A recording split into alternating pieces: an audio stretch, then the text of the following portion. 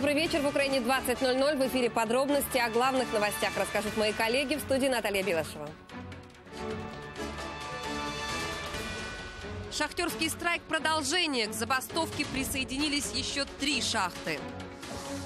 Оружие «Здравствуй» или «Прощай», что за умные пистолеты пообещал Барак Обама американцам. Огонь интеллекта. Зачем автолюбительница сунула зажигалку в бензобак? Забастовка горняков. Сегодня к ней присоединились еще три предприятия. Напомню, 3 января сотрудники шахты «Степная», это во Львовской области, отказались спускаться в забой. Вчера к ним добавились горняки Великомостовская, сегодня работники еще трех шахт э, Червонограда. Причиной забастовки стала невыплата еще ноябрьской зарплаты. Сегодня на счета предприятий поступили 23% от общей суммы задолженности за ноябрь.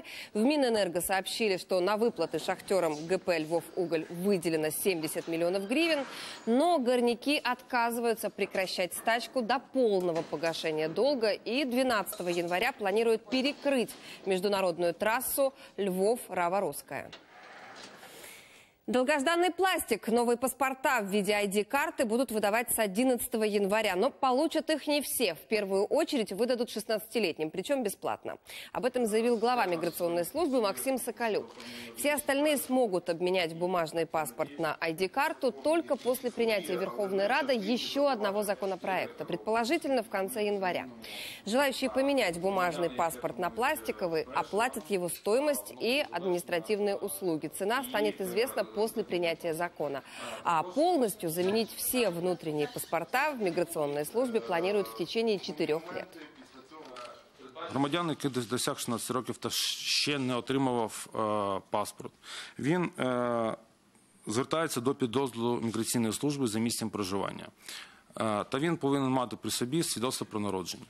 Ніяких фотокарток він приносити не потрібно. Фотографування відбувається на місці, і це безкоштовно. Безвизовые потуги. Отмену скандальной поправки в закон о предотвращении коррупции рассмотрит Верховная Рада. Речь идет об отсрочке электронной подачи налоговых деклараций чиновниками до 1 января 2017 года, которая может повлечь за собой проблемы с введением безвизового режима между Украиной и странами ЕС. Об этом сообщил спикер Владимир Гройсман на своей странице в Facebook со ссылкой на сайт парламента. Там сегодняшним числом зарегистрирован текст этой правки и сопроводительные документы. Дату 1 января 2017 года предполагается удалить, а закон вступит в силу со дня его опубликования. Судили, да не досудили. Это снова о Геннадии Корбане. Теперь Киевский апелляционный суд решает, заменить ли ему содержание под стражей на домашний арест. К чему пришли, расскажет Елена Зорина. На улице автозаки и нацгвардейцы. Внутри много журналистов и группа поддержки с плакатами. Будет ли сам Корбан, адвокаты не знали до последнего. Мол, о подзащитном не было вестей с 28 декабря, когда Днепровский суд столицы решил взять лидера укропа под стражу. Ми шукали його по СІЗО. Я не знала, де він знаходиться. Ми зараз з'ясували, що він знаходиться на лікуванні в інституті Амосова. У меня была операция, у меня еще планируется еще одна операция, пока в больнице. Мне еще проводят лечение. Подозреваемого привезли, выглядит он бодро, даже пытается улыбаться. За решеткой у него бумаги и вода. Адвокаты сразу же требуют отвода двух судей. Не исключают, что было вмешательство в автоматическую систему распределения дел. Мол, о том, кто будет вести дело, узнали из прессы, когда об апелляции только думали. А еще одного судьи сын работает в прокуратуре. Обращается к служителям ФМИДа и сам Корбан. Не будьте преступниками. Я не признаю власть вашего суда. Прокуроры против, говорят, причин для замены судей нет, а сами люди в мантиях убеждают, было вмешательство в распределение дел или нет, выяснят. Пока расспрашивают адвокатов. Чи можете ви повідомити суду, хто ж є автором цієї інформації? Ім'я по батькові особи, яка це прилюднила, ви назвати не можете. Я вважаю, що це в даному випадку не є головою. Це буде вирішувати суд. Судьи берут паузу, мол, и рассматривать-то пока нечего. На сьогоднішній день відсутні матеріали самої справи, вона не надійшла е, з Дніпровського суду.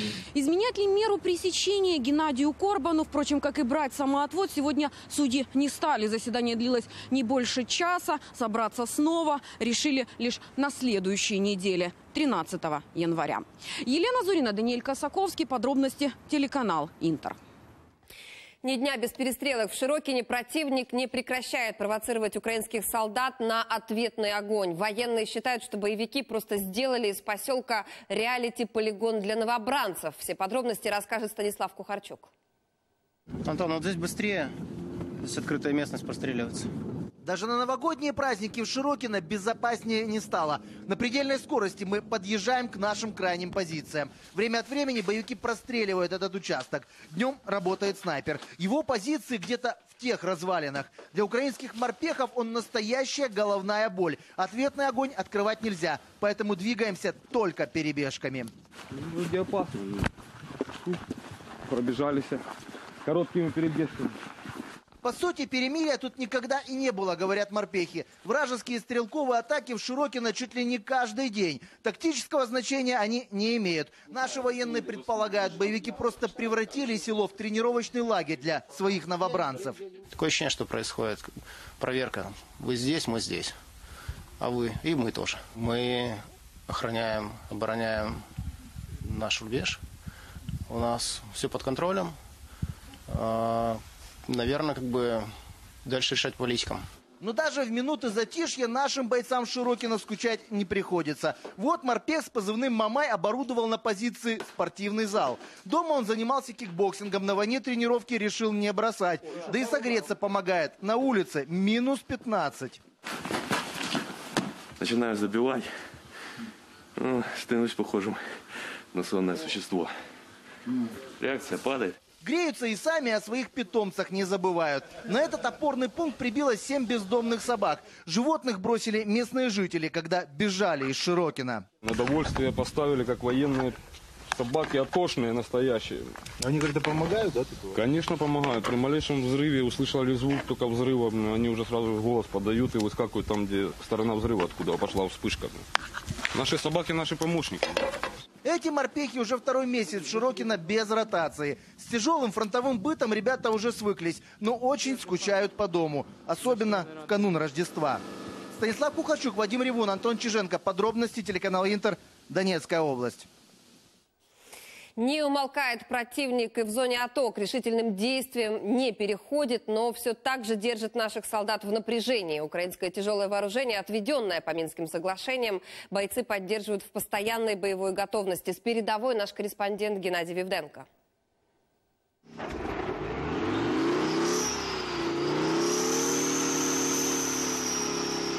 Вот главная задача украинских танкистов в эту морозную погоду, собственно, завести сам танк.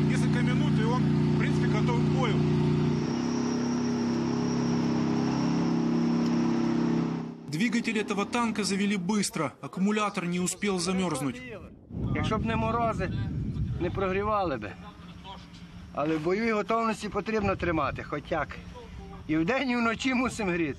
Бронетехника должна быть в полной боевой готовности, несмотря на лютую стужу. Сейчас минус 22. Поэтому танки прогревают и заводят 3-4 раза в сутки, днем и ночью.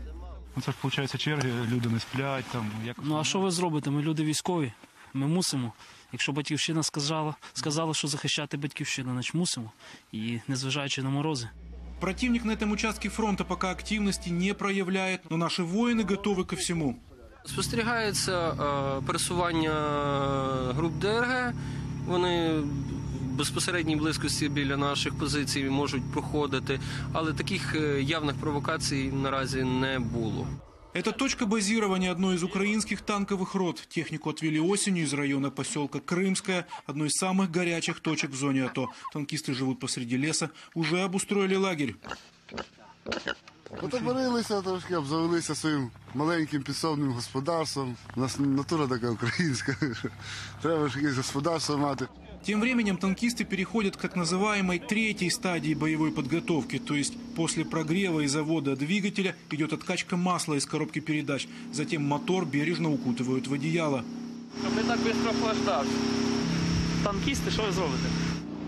Геннадий Вивденко, Сергей Дубинин, Руслан Терентьев. Подробности телеканал Интер из Луганской области. Польша вооружается и увеличивает количество своих военных. Министр обороны Антони Мацеревич рассказал о создании трех бригад национальной обороны, которые разместят на восточных рубежах. Туда же стянут и существующие подразделения. По словам главы оборонного ведомства страны, основная угроза безопасности Европы исходит со стороны России. Поэтому в Польше хотят вдвое увеличить численность армии. Сделают это не сразу. Сейчас контингент насчитывает 80 тысяч военных. Министр намерен довести его до 150 тысяч.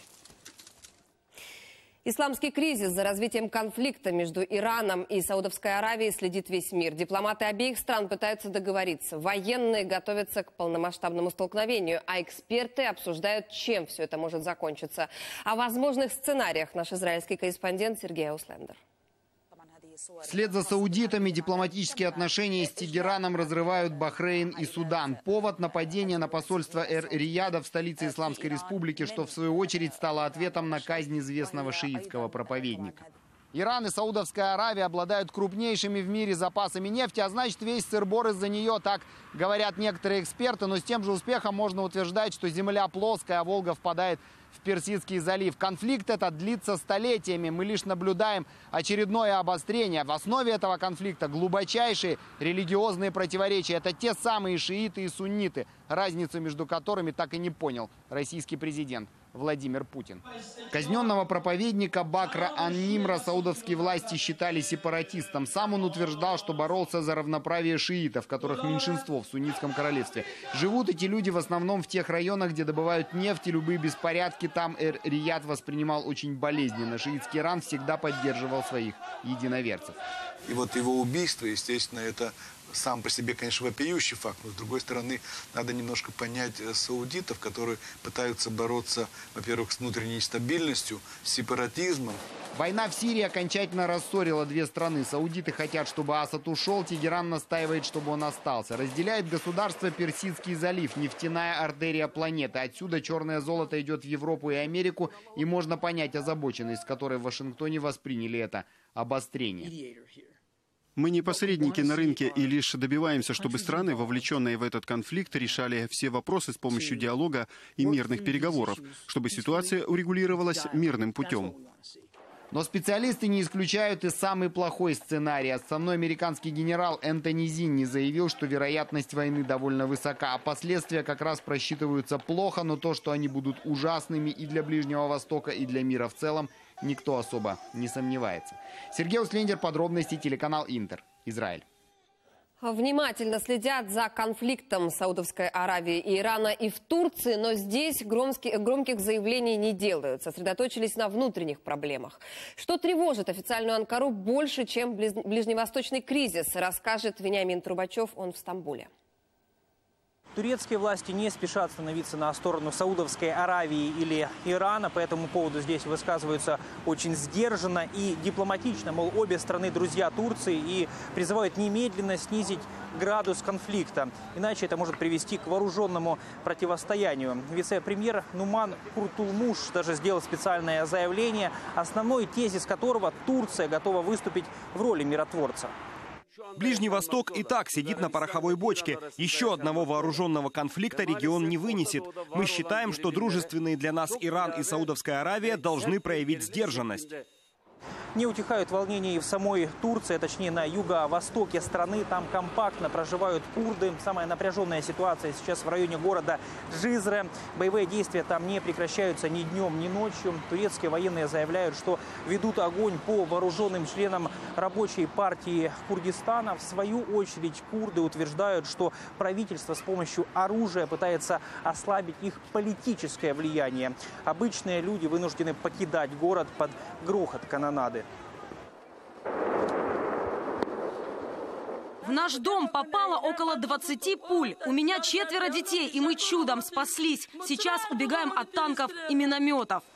А на побережье Эгейского моря сегодня спасатели обнаружили тела 27 человек, трое из них дети. Уже установлено большинство сирийские беженцы. Очевидно, мигранты пытались на двух лодках попасть в Грецию, но начался шторм. Лодки перевернулись и затонули. Некоторые сумели самостоятельно доплыть до берега. Это, конечно, невероятно, учитывая, что сейчас на море большие волны, а вода в буквальном смысле ледяная. Лодка разбилась о скалы, и люди пытались сами плыть. Хотели им помочь, но не получилось. Они погибли.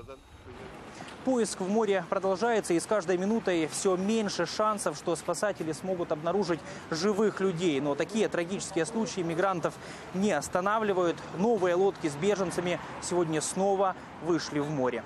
Вениамин Трубачев и Влад Лен-0. Подробности телеканал Интер, Стамбул, Турция.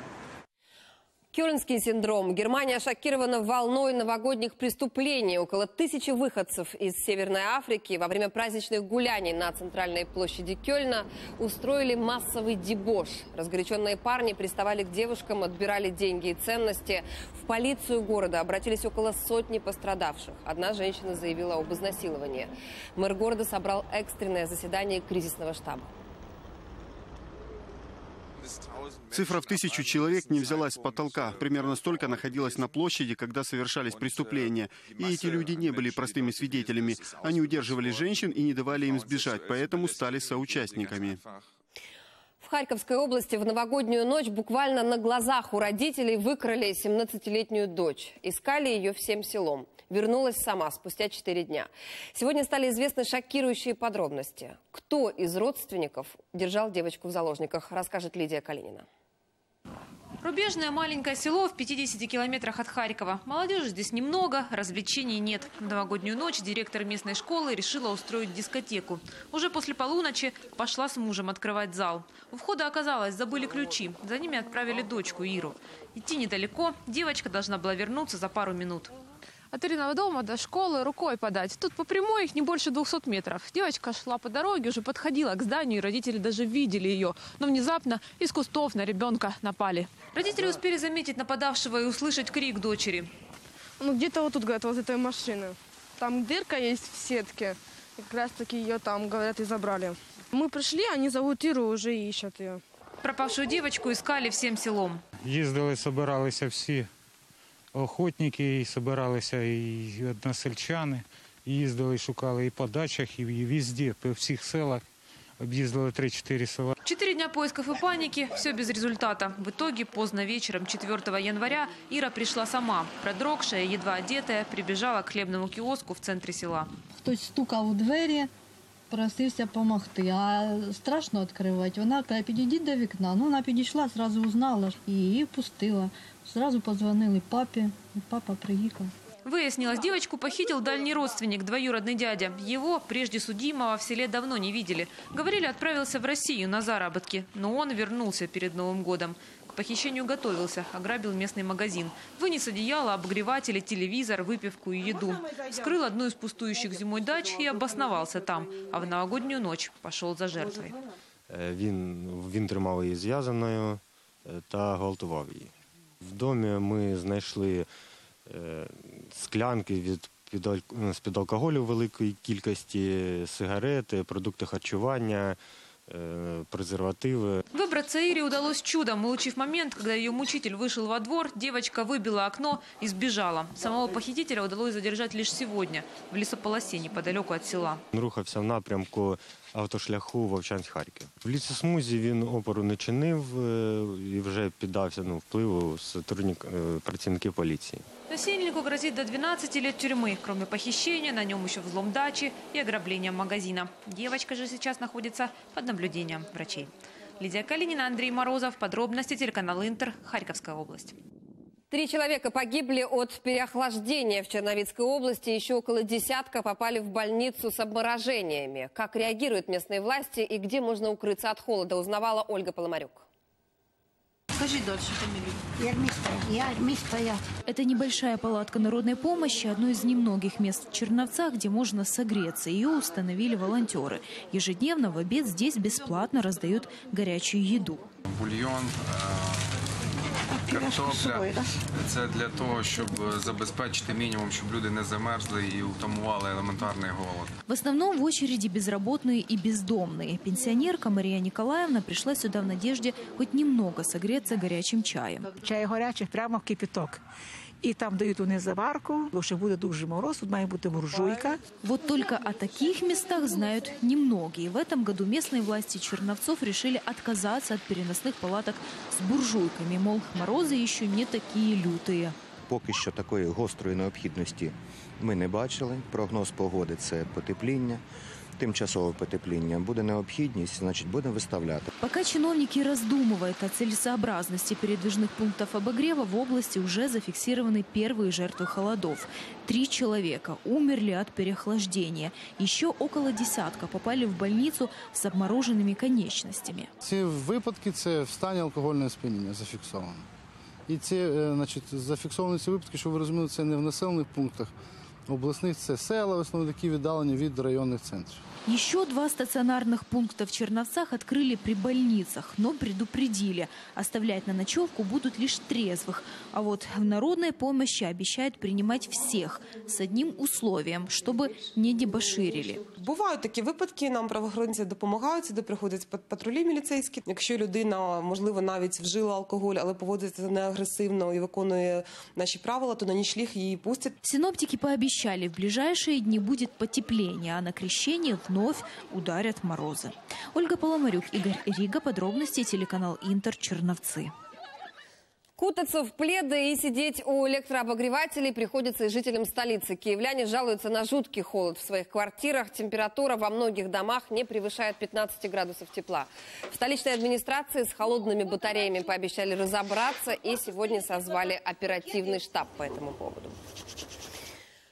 В США почти сутки удерживали в заложниках женщину и 11 детей. Звонок в службу 911 поступил из мотеля в штате Джорджия. Женщина рассказала о ссоре с приятелем. Когда на место прибыла полиция, мужчина отказался открывать дверь и сообщил о заложниках. Старшему из них 17 лет, младшему всего 3 месяца. После неудачных переговоров спецподразделению пришлось штурмовать номер. Заложников освободили. Во время операции злоумышленник нанес удар ножом себе в шею, а сейчас мотивы этого преступления выясняет следствие. Здравствуй, оружие и прощай. Президент США Барак Обама объявил об ограничениях на покупку оружия в Штатах. В чем причина такого решения и как на него отреагировали американцы, знает Дмитрий Анопченко. Он следит за ситуацией из Вашингтона. Восточный зал Белого дома. Президент вышел к прессе, чтобы сообщить, не будет ждать, пока в стране случится новый массовый расстрел. Уже сейчас вводит ограничения на продажу оружия своим решением. Люди умирают, и постоянные оправдания бездеятельности больше не работают. Основное. Стволами запретят торговать через интернет или на таких популярных здесь оружейных выставках. Ведь каждый продавец теперь обязан проверить биографию любого покупателя. Здоров ли психически, не совершал ли преступлений, не замечен ли в домашнем насилии. А полиции и военным президент поручил разработать умные пистолеты и винтовки, из которых сможет стрелять исключительно хозяин. За время своего президентства Барак Обама не раз пытался провести подобную реформу, но каждый раз его инициативы блокировали конгрессмены, заявляя, право на свободное ношение оружия для каждого американца гарантировано второй поправкой Конституции. Объявляя сегодня о новых инициативах, президент Обама все же надеется обойти Конгресс. Анонс, мол, президент сообщит об ограничениях, Белый дом распространил накануне. И американцы буквально бросились в магазины, чтобы купить стволы по старым правилам. Это очередь на оружейную выставку, которая проходит сейчас в городке Шантьи, в 20 минутах езды от Вашингтона.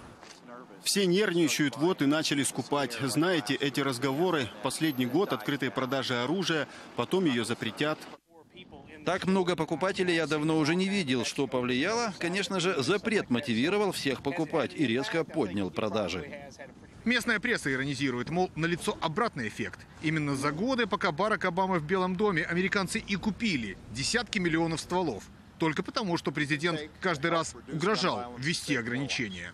Любые оружейные ограничения в Соединенных Штатах тема крайне непопулярная. И поэтому понятно, почему Барак Обама о своей инициативе объявил только сейчас. Он уже не может баллотироваться, но и поэтому может себе позволить не обращать внимания на мнение избирателей. Хотя уже сейчас понятно, что тему оружия возьмут на вооружение, будут спекулировать на ней все кандидаты в президенты. И многие из них наверняка пообещают отменить сегодняшнее решение Обамы. Из Вашингтона Дмитрий Анопченко, Сергей Коваль, телеканал «Интер». Родительские радости китайцев и новогодняя каллиграфия японцев. Об этом и не только в нашем обзоре. Китайцы смогут иметь двоих детей без разрешения властей. Такое правило будет действовать в рамках закона, который вступил в силу 1 января. Как заявили в китайском правительстве, отныне семьи смогут свободно планировать пополнение. Ранее в КНР приняли закон, позволяющий родителям иметь двоих детей. Однако для этого необходимо было еще получить специальное разрешение. Автоледи зажигает. В российском Сургуте женщина устроила пожар на заправке. Пламя вспыхнуло, когда горе-водитель решила подсветить себе зажигалкой. Вероятно, в этот момент пистолет отщелкнул. Огонь охватил бензобак и часть колонки. Видео с места события зафиксировал авторегистратор одного из автолюбителей. Он, как и другие посетители заправки, поспешили поскорее уехать с места ЧП. 36-метровый Мао Цзэдун появился в китайской провинции Хэнань. Гигантскую статую возвели из бетона и стали и покрыли золотой краской. Стоимость проекта более чем 460 тысяч долларов. Все эти деньги собрали жители близлежащей деревни в надежде, что золотой Мао привлечет сюда толпы туристов.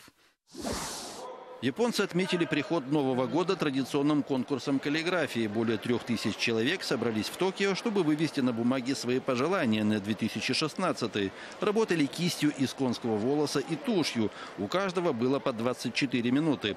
Соревновались участники всех возрастов. Победителя объявят в феврале. Он получит награду от премьер-министра страны. Китайские моржи выясняли, кто быстрее. Около 600 человек поучаствовали в ледяном заплыве. Мероприятие прошло в Харбине, одном из самых холодных городов страны. Столбик термометра сейчас там опустился до минус 20. Заплыв стал стартом для ежегодного фестиваля снега и льда. Кот-примат покорил интернет. В сети набирает популярность новогодний ролик японских блогеров, переодевших усатого по имени Цу в мартышку. Кот с удовольствием поедает банан, а также вызывает небывалый интерес у своего сородича. Ролик набрал более трех миллионов просмотров. Правда, часть пользователей заявили, мол, кот выглядит грустным и обвинили японцев в жестоком обращении с животными. Следите за развитием событий на нашем сайте подробности UA. Хорошего вам вечера и до встречи завтра.